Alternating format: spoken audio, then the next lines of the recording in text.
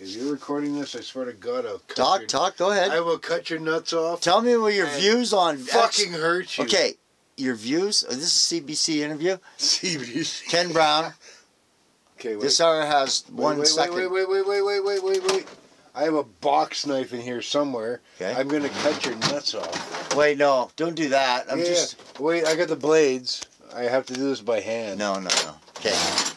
So, what what do you hate most about uh, being married? Because you're an experienced guy, Um, and hooking up with a chick that does the same thing you do, and having the most beautiful daughter I've ever seen. the little most part girl. I hate about marriage is well, the sex.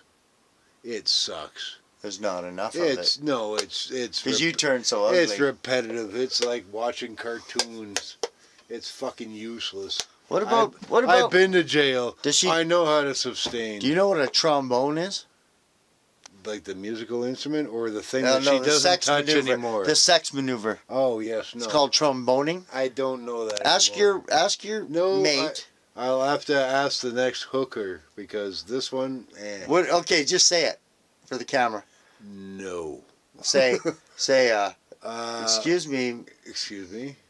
Will you? Pardon me. What's the instrument called?